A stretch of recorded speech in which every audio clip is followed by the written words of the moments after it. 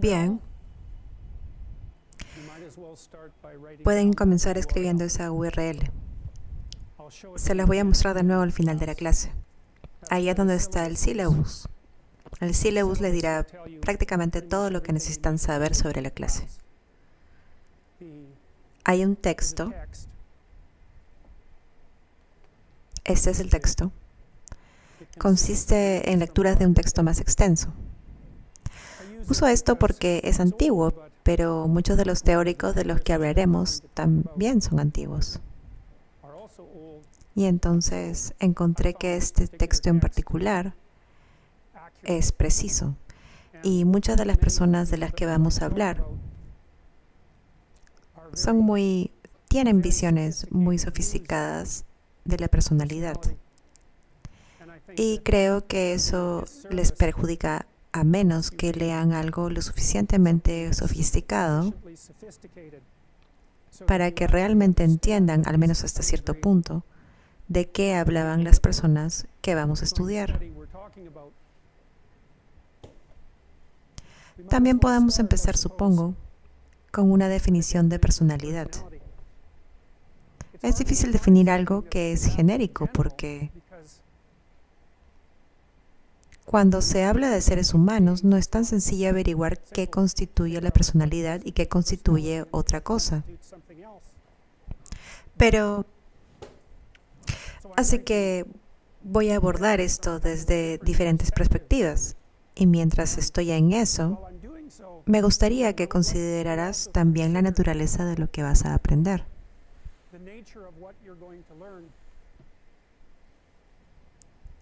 La personalidad humana es esencialmente insondable.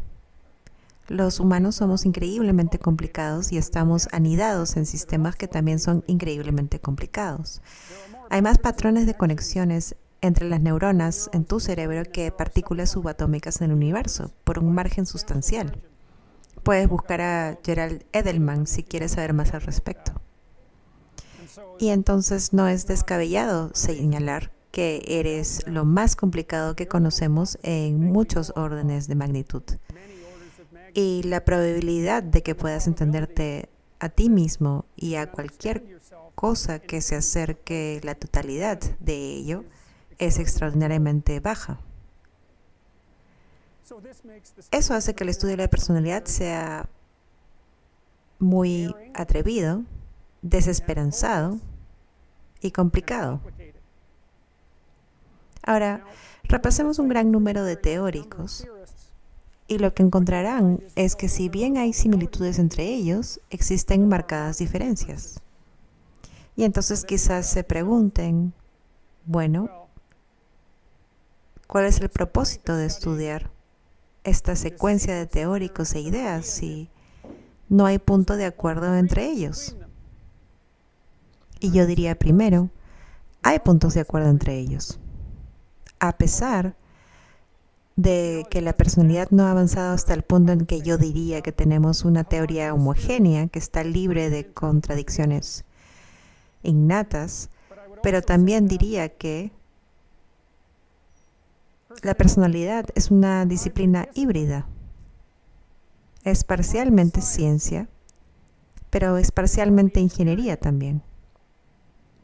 El elemento clínico, diría yo, se parece más a la ingeniería y lo que hacen los ingenieros es tratar de hacer cosas. Ellos tratan de hacer que algo suceda y están informados por la teoría.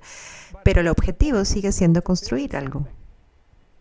Y cuando trabajas como psicólogo clínico, y la mayoría de los primeros teóricos que discutiremos primero, o poco más de un tercio y medio del curso, son teóricos clínicos. Están tratando de construir algo y están lidiando con cosas muy, muy difíciles. Problemas conceptuales porque están tratando de curar los trastornos mentales o incluso la infelicidad y tratando de traer salud. Y el problema de eso es que la definición de un trastorno mental no es una cosa precisa desde una perspectiva científica porque lo que es mentalmente sano y lo que no lo es es parcialmente un juicio social y parcialmente construido socialmente. Y eso en parte tiene que ver con las reglas y en parte tiene que ver con las ideales, porque también se puede decir que estar sano es ser normal. Pero también se puede decir que estar sano es ser un ideal. Y luego, por supuesto, te enfrentas al problema de tener que conceptualizar un ideal. Y no es evidente que la ciencia sea capaz de conceptualizar un ideal porque los ideales tienden a caer en el ámbito de los juicios morales, digamos, o juicios filosóficos en lugar de juicios científicos per se. Así que lo que les diría es que valdría la pena abordar este curso como si fueran ingenieros del espíritu humano. Un ingeniero de espíritu propio, para empezar, pero también un ingeniero de los espíritus de otras personas, porque mientras interactúas con otras personas, inevitablemente les dices lo que quieres y lo que no. Cuando te dan lo que quieres y lo que admiras, les respondes positivamente, les prestas atención, les sonríes, te concentras, enfocas tus pensamientos en ellos, interactúas con ellos y los recompensas por actuar de una manera particular. Y cuando no responden como tú quieres, entonces los castigas con una mirada o volteándose o rechazando su amistad o como un niño negándose a jugar con ellos. Y entonces estamos involucrados en la co-creación de personalidades, la nuestra y la de los demás.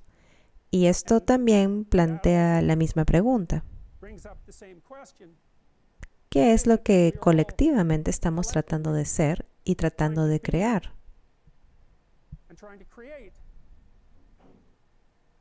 Sospecho que todos ustedes tienen la experiencia de no alcanzar el ideal, un ideal que persiguen para ustedes mismos o un ideal de otras personas que otras personas tienen para ustedes. Sospecho que todos ustedes tienen las consecuencias negativas de no alcanzar este ideal. Freud conceptualizaría esto como el super yo imponiendo su juicio sobre el ego, siendo tú el ego, el super yo siendo un híbrido, supongo, de fuerzas externas y también tu internalización de esos juicios y fuerzas.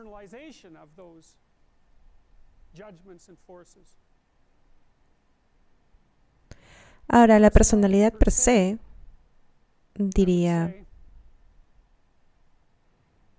tiene estos elementos ideales y también tiene elementos estructurales. Y hablaremos de eso más en la segunda mitad de la clase. Los elementos estructurales se pueden alinear y delinear de una manera más científica. La segunda mitad de la clase se enfoca más en la fisiología la fisiología del cerebro y en los enfoques estadísticos para la descripción de la personalidad. Supongo que se podría decir que describe el territorio.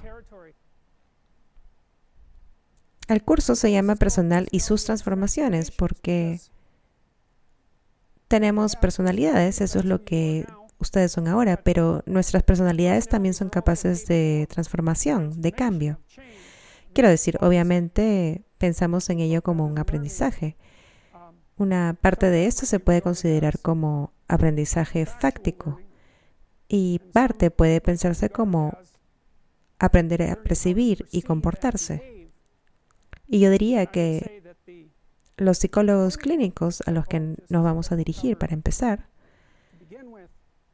están mucho más preocupados por la naturaleza de las estructuras implícitas que dan forma a sus percepciones y también las estructuras implícitas que dan forma a sus comportamientos y cómo son integrados en relación a tu emoción negativa, salud y bienestar. Mientras que los pensadores de la segunda mitad están más preocupados de definir los elementos estructurales de estas características y relacionarlos con los fenómenos subyacentes, digamos, mecanicistas, haciendo la suposición que parece justificada de que existe alguna relación entre tu personalidad y la forma en que funciona tu cerebro. voy a tratar de proporcionar una metanarrativa que les ayudará a reunir estas diferentes teorías. A menudo encuentro útil cuando estoy tratando de recordar algo tener una historia para anclar los, los hechos.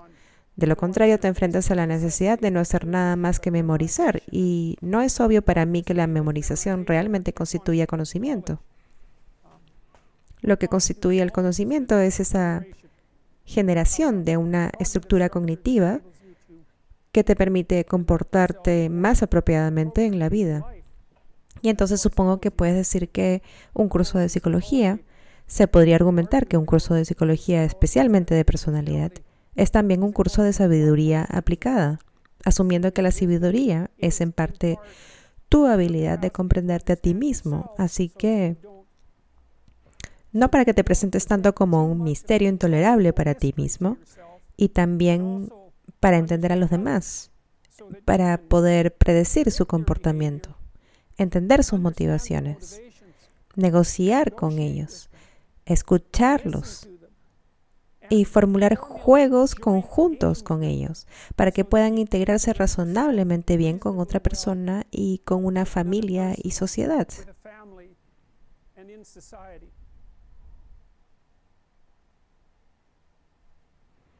Bien, los elementos estructurales de la personalidad pueden ser considerados como las estructuras implícitas que gobiernan su percepción. Y eso te inclina hasta cierto tipo de comportamientos. Puedo darles algunos ejemplos. Podemos hablar sobre los cinco grandes modelos solo brevemente. El modelo de las cinco personalidades es un modelo estadístico que cubriremos en detalle característica por característica, en parte durante la segunda mitad del curso. La forma en que se generaron las cinco grandes personalidades fue esta. Sus rastros se generaron a lo largo de varios años, eh, que los psicólogos de la personalidad juntaron adjetivos del idioma inglés, primero que se usaron para describir a los seres humanos. Tantos adjetivos que podrían coleccionar. Y luego lo sometió a un proceso llamado análisis factorial. Y lo que hace el análisis factorial es permitirte determinar estadísticamente en cierto sentido, como, como adjetivos son similares uno al otro. Por ejemplo, si le dieras a mil personas una lista de adjetivos para describirse a sí mismos, y uno de los adjetivos era feliz y otro de los adjetivos era social, encontrarían que aquellos que se calificaron a sí mismos como felices también se calificarían a sí mismos como sociales. Y aquellos que se calificaron a sí mismos como felices también se calificarían como sociales. Y al analizar estos patrones de covariación, puedes determinar cuáles son las dimensiones esenciales de la personalidad humana.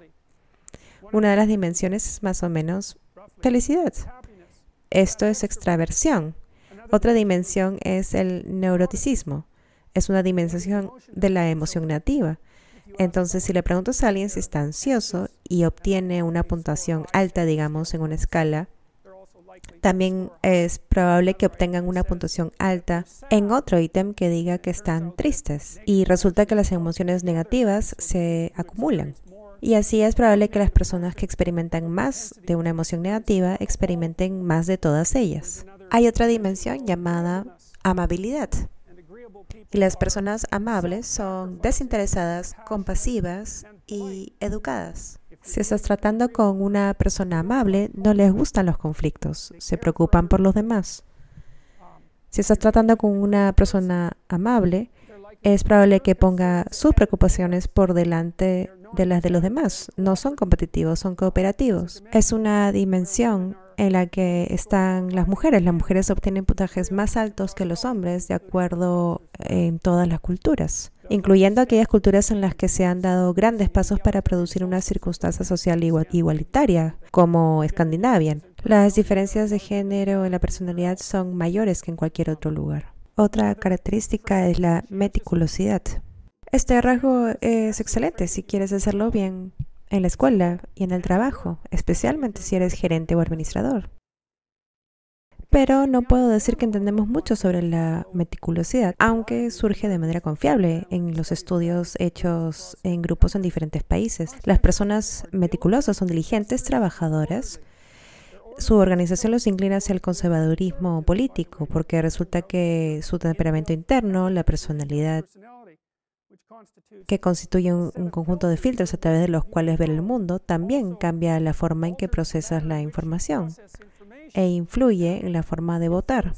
Y entonces puedes decir, y creo que esto es cierto, hemos estado haciendo mucha investigación al respecto. Cuanto más precisa sea la medida que tomes de las creencias políticas de alguien, más podrás saber la personalidad que tienen. Y creo que es razonable pensar en eso porque tienes que encontrar formas de simplificar el mundo, porque simplemente no puedes hacerlo todo. Y entonces la gente es especialista, son especialistas en nichos, como nichos sociales. Un nicho es un lugar donde tus habilidades específicas trabajarían para mantenerte. Y entonces si eres extrovertido vas a buscar un nicho social porque te gusta estar con la gente. Y si eres introvertido pasarás mucho más tiempo solo.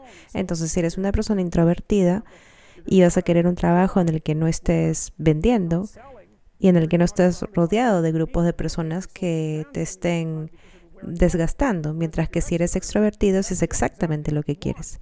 Entonces el extrovertido ve el mundo como un lugar de oportunidad social y el introvertido ve el mundo como un lugar para retirarse y pasar tiempo a solas.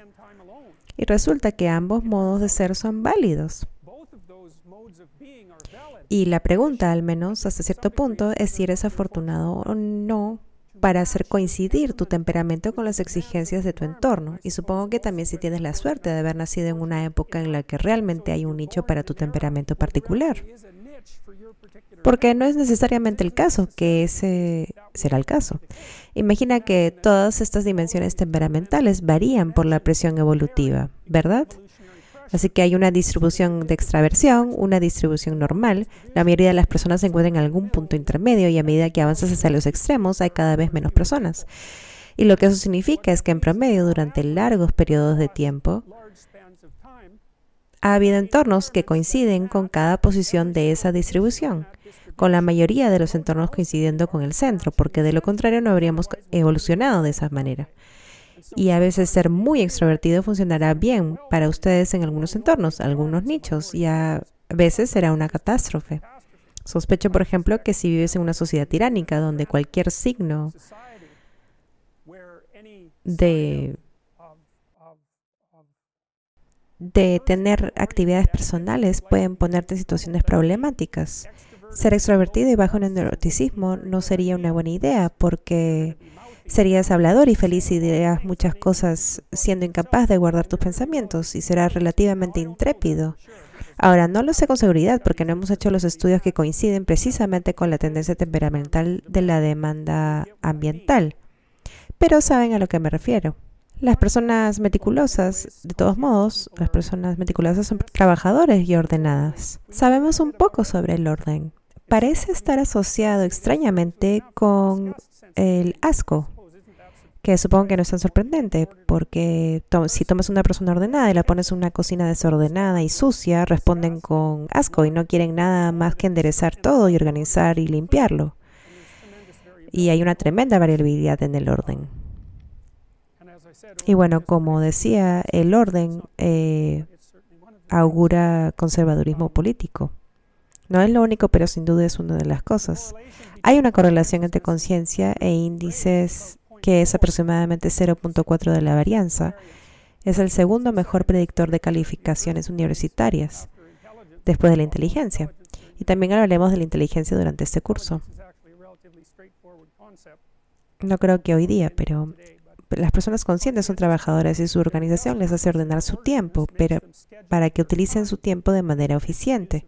Usan calendarios y ese tipo de cosas. Eh, no hemos podido averiguar nada sobre la biología o la psicología subyacente de los trabajadores. De hecho, probamos docenas y docenas de pruebas tratando de encontrar una medida de laboratorio en la que la gente trabajadora lo haga mejor y fallamos por completo. Y tampoco hay modelos animales eh, de diligencia. Entonces diría que es un gran misterio que permanece en el corazón de la psicología de los rasgos. Y tal vez sea una categoría específica para humanos, ya saben.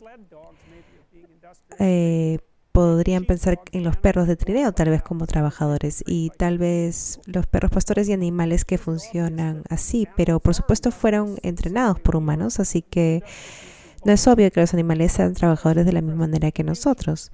y parece que debe ser capaz de conceptualizar el tiempo para sacrificar el presente por el futuro. Una de las, de las cosas que recomendaría que hicieran como estudiantes de este curso, y tal vez en todos los cursos, es eh, pensar en un plan de ataque para el curso y usar algo para planificar. Si tratan su carrera universitaria como un trabajo de tiempo completo, es mucho más probable que tengan éxito que si, si siguen las lecturas y las tareas y todo eso.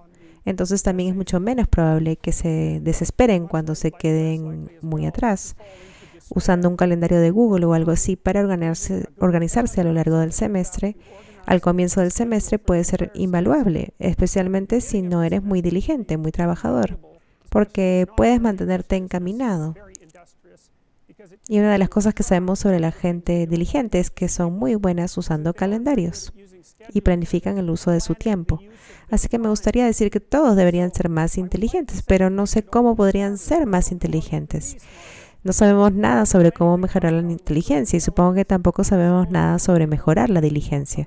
Pero lo que les puedo decir es que las personas que son trabajadoras tienen una estrategia para resolver el problema que tienen enfrente y luego hacen lo que pueden para mantener la estrategia.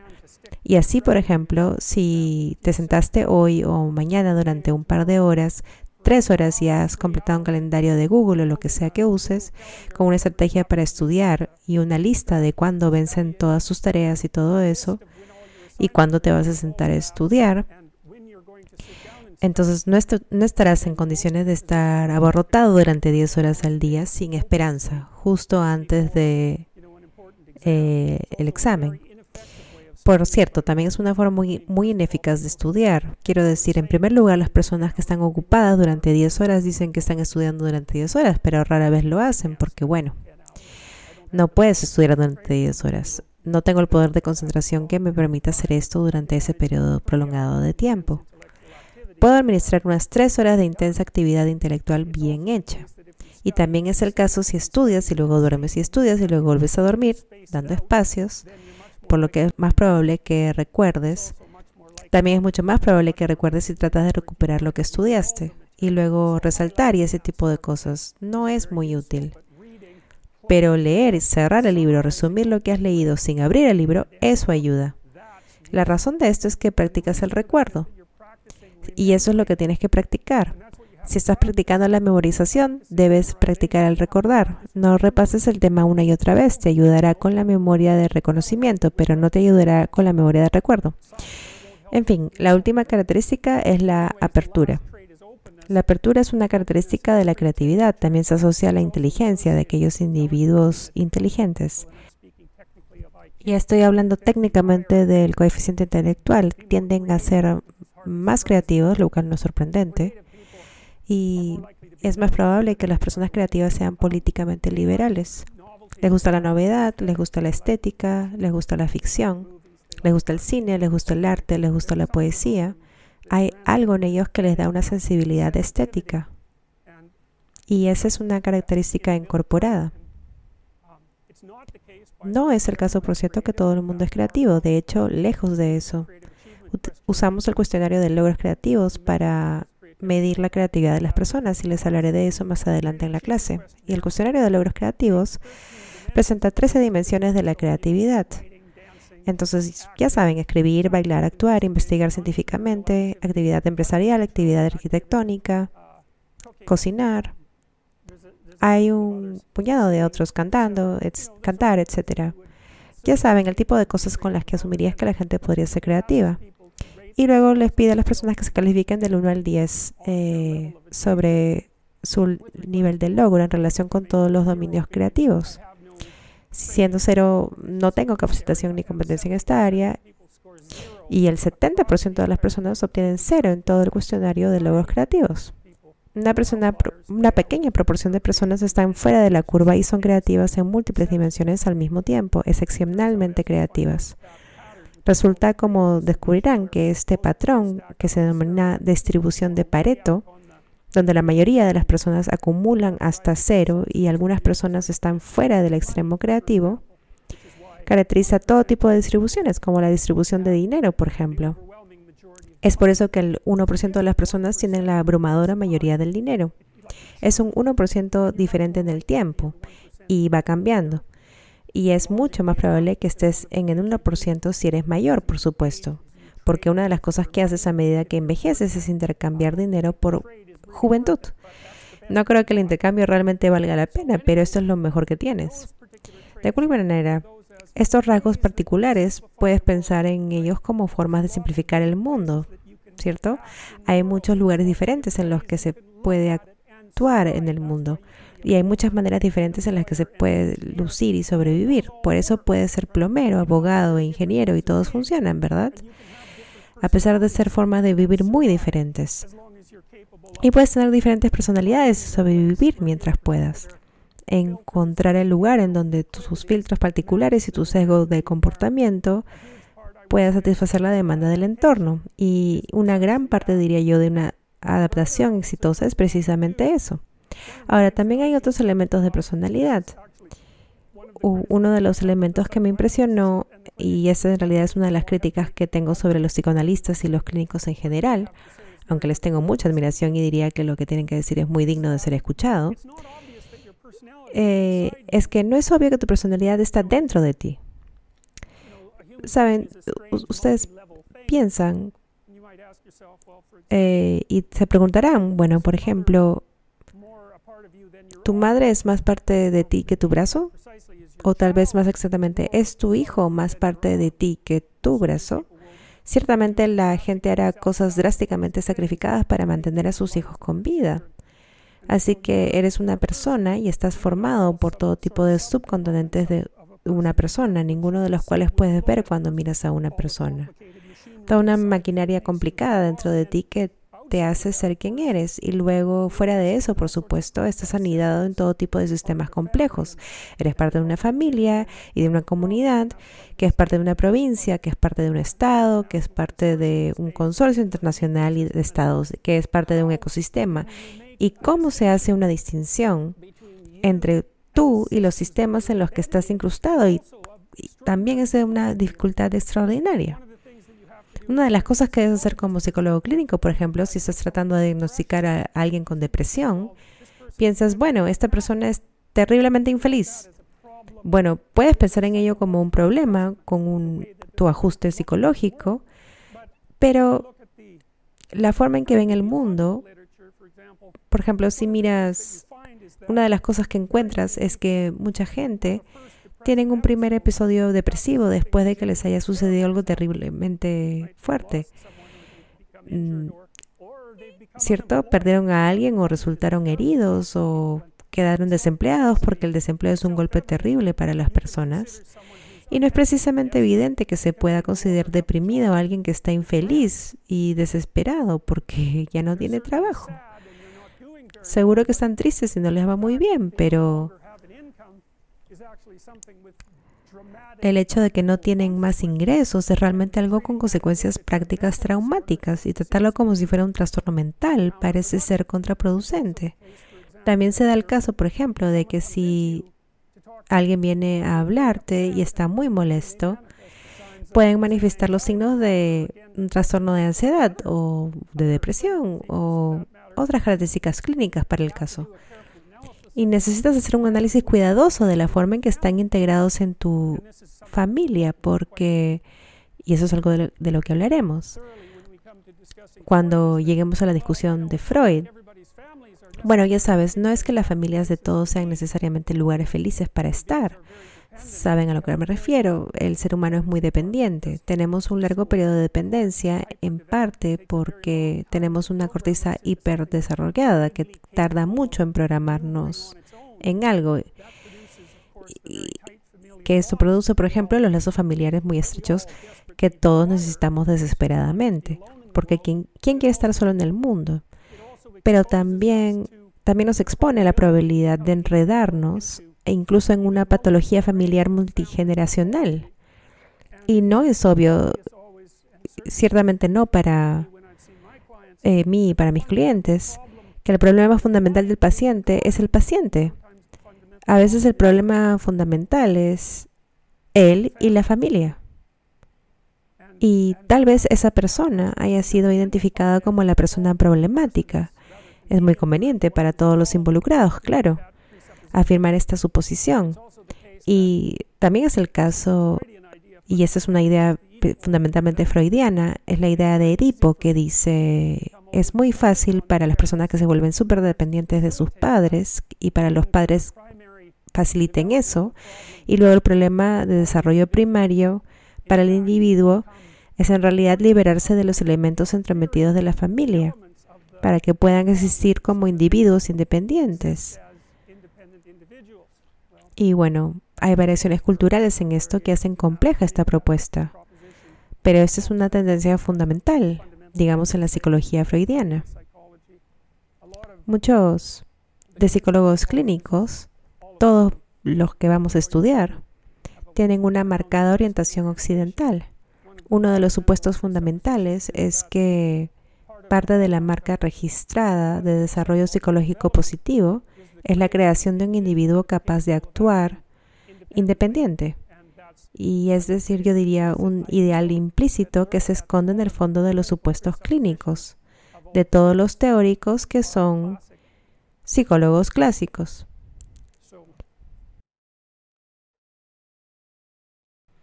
Esta es una imagen muy antigua.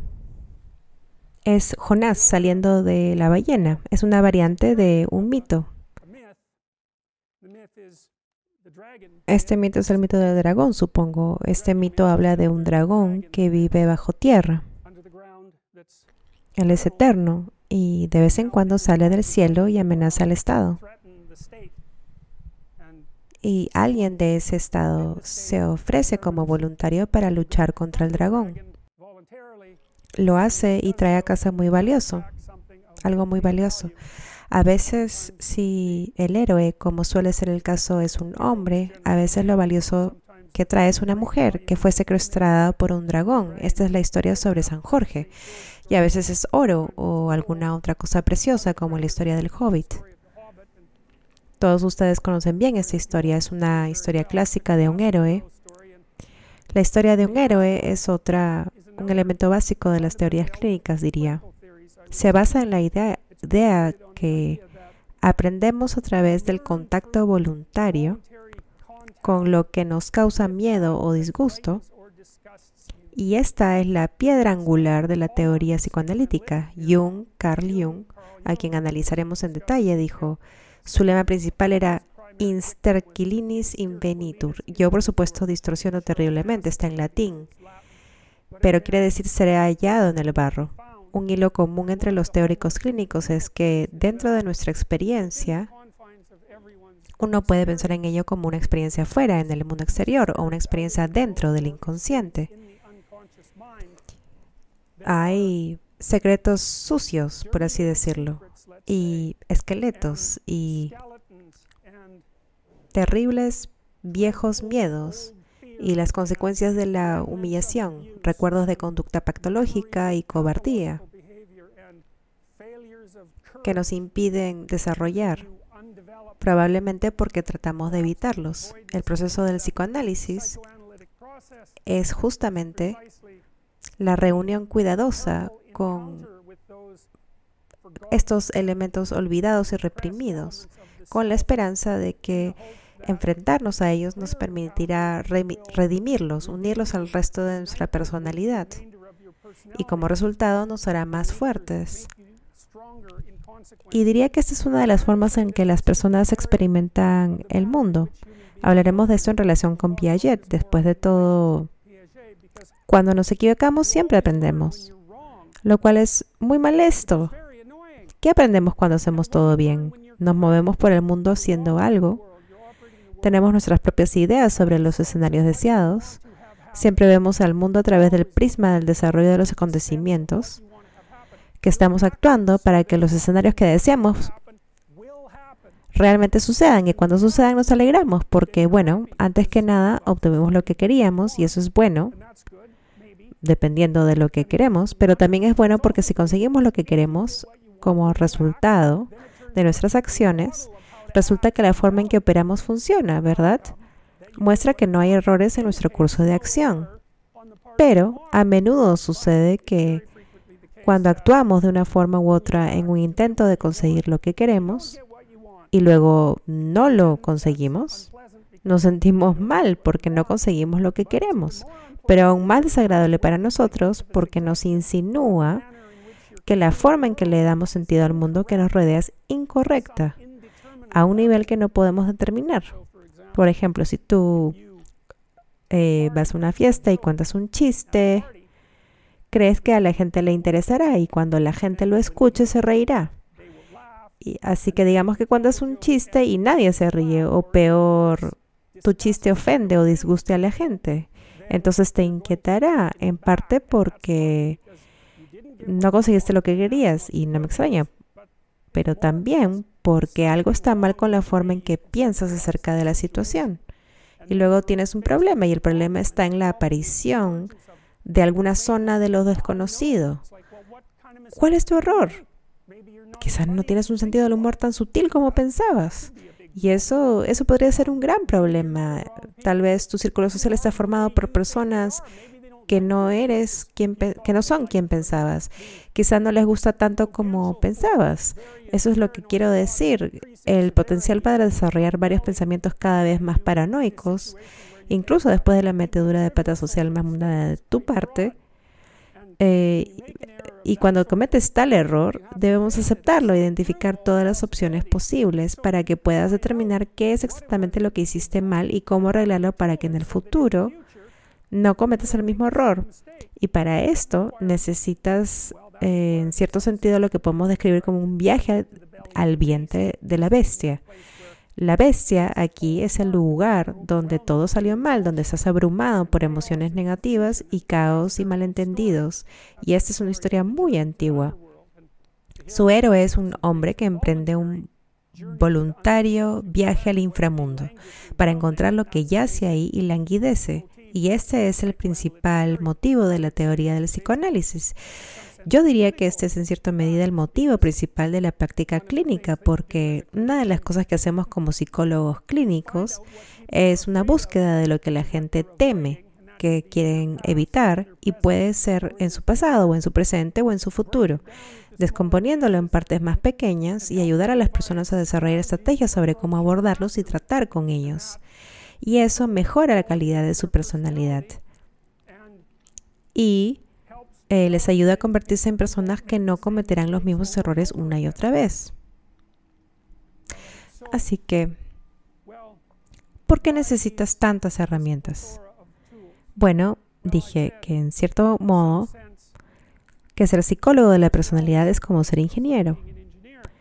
Estás tratando de crear mejores personas. Y puedes decir que si eres carpintero o mecánico, tu habilidad para arreglar el vehículo o construir una casa depende de tu habilidad en el manejo de un conjunto particular de herramientas.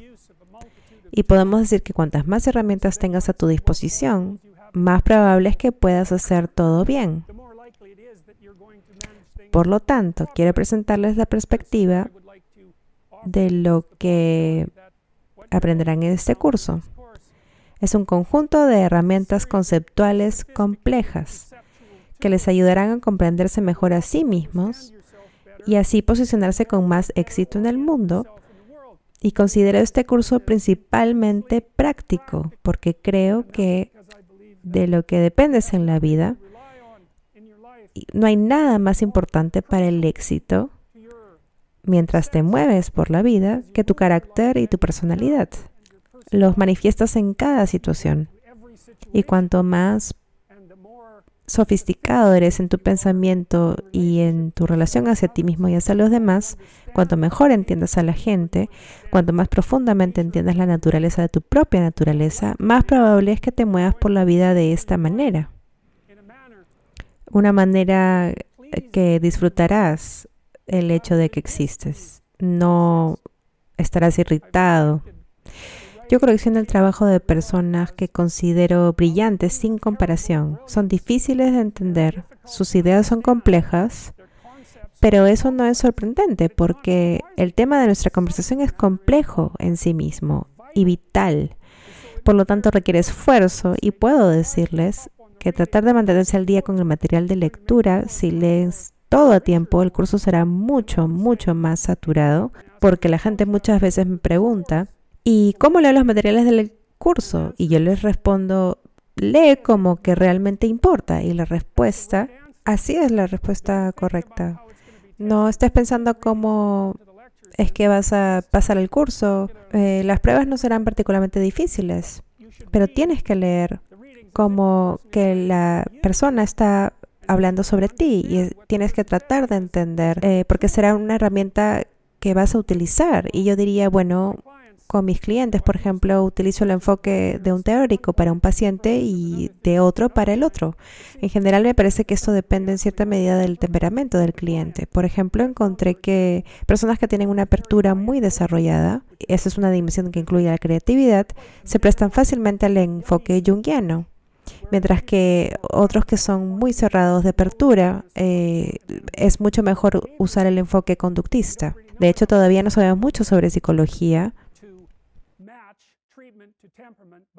ese tipo de cosas son de mi experiencia y se cumplieron.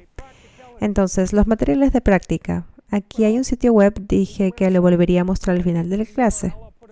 El sitio tiene todos los materiales de lectura que no están en el libro de texto. El libro de texto contiene las obras de los clásicos, los escritos de autores como Jung, Freud, Piaget, Rogers, etc. Y como dije, elegí este tutorial en particular porque creo que el autor hizo un gran trabajo al resumir lo que es muy difícil de generalizar.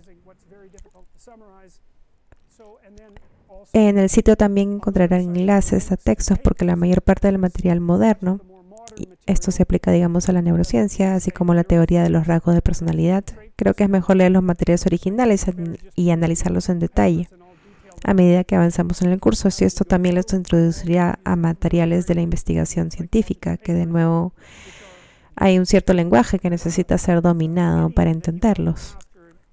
Pero en términos de práctica y especialmente si van a continuar dedicarse a la psicología como continuación de sus estudios o como profesionales, sería útil leerlo. Así que Aquí otra vez está la dirección del sitio web del curso. Se va a jordanpeterson.com, que es fácil de recordar. Si pueden recordar mi nombre. Y entonces las clases se enumeran allí y se pueden encontrar el plan de estudio. Entonces esto es lo que estaremos estudiando. Las clases son un poco raras este año. Ya tenemos clases una hora y el siguiente dos horas. No estoy muy seguro de cómo lo haremos pero lo resolveremos.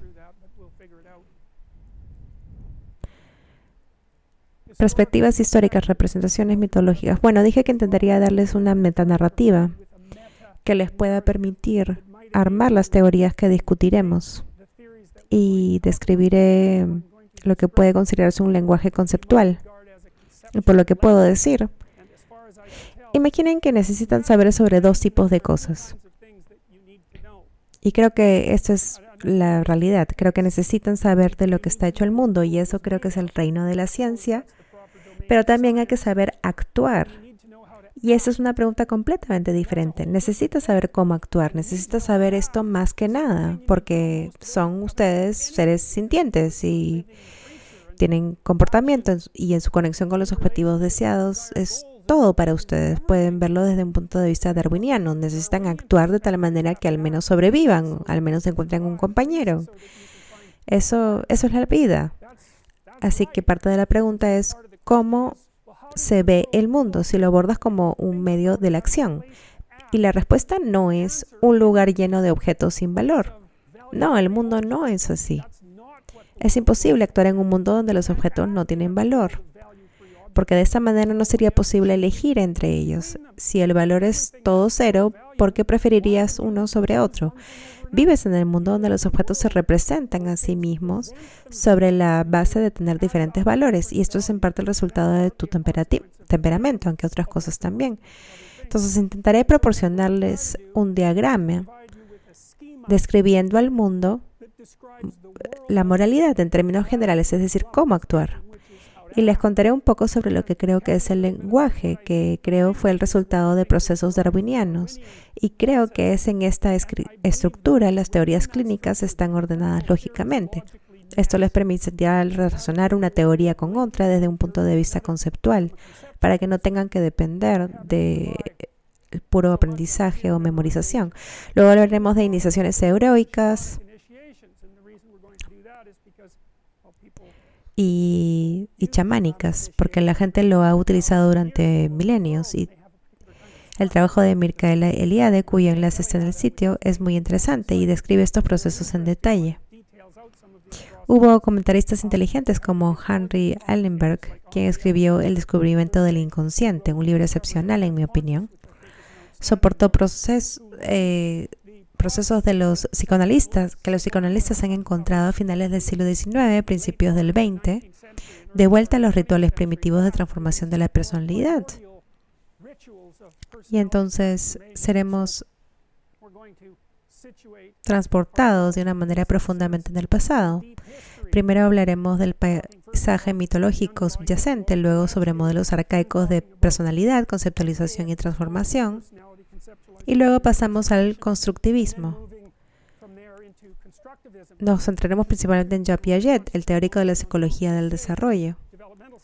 Los constructivistas creen que nos creamos a nosotros mismos en función de la información que recopilamos. Por lo tanto, somos seres que exploran y exploramos un proceso de aprendizaje particularmente activo cuando estamos eh, recolectando información para nuestro mapa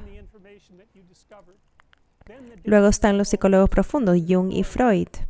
Creo que en lo que respecta a Jung, voy a ver algunas películas con ustedes. No usaré la película entera, solo extractos, fotogramas de la película. Conocen estas películas, así que en orden cronológico quiero tratar de explicarles cómo se pueden utilizar las premisas jungianas para entender de qué tratan estas películas. Ya saben, cuando pensamos en la película como El Rey León, y esta es una película extremadamente popular, el hecho de que vayamos a ver esta película es un fenómeno muy extraño, si lo piensan. Estos son dibujos animados de animales que en cierto sentido nos representan a nosotros mismos. Están en baja resolución, pero los reconocemos inmediatamente como seres vivos. Y les atribuimos motivación y posición en la jerarquía. Una mente, lo hacemos automáticamente sin pensar en ello. Hay una trama clásica detrás de estas historias y las historias son básicamente muy, muy, muy antiguas. Y es por eso que somos capaces de entenderlos. Y la razón por la cual somos capaces de entenderlos es porque la vida misma tiene una trama, o tal vez un par de historias o un montón de historias, pero todavía hay una trama y si no fuera así no seríamos capaces de entendernos. Y quiero explicarles esto analizando algunas de estas películas. Creo que esta es la mejor manera de entender a un autor tan complejo como Jung, que es muy difícil de abordar.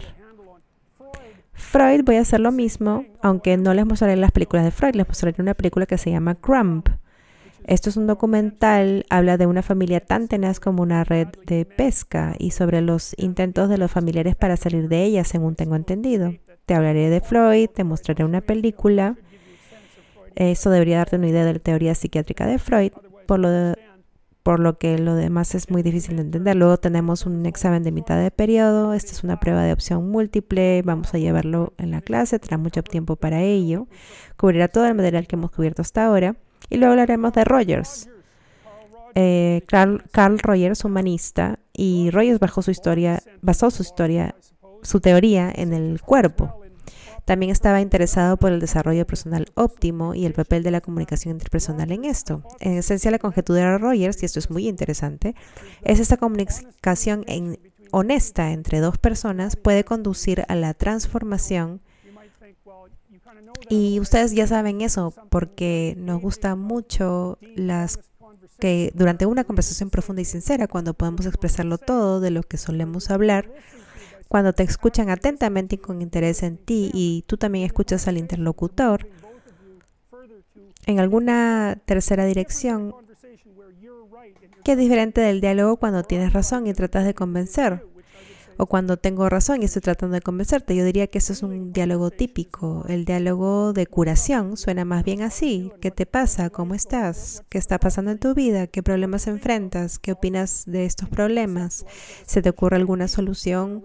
¿Podemos encontrar una manera de resolver el problema juntos?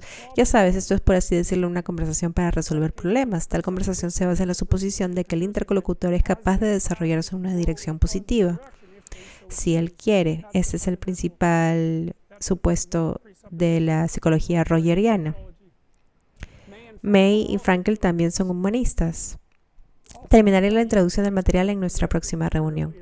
Les mostraré más sobre la estructura de nuestro curso. El segundo examen intermedio es el 14 de marzo y hay un examen final al final.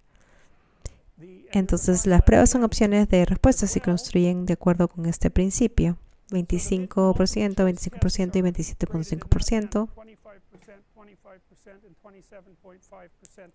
No se acumulan cada prueba incluida al final sobre todo el material que pasó después de la prueba anterior.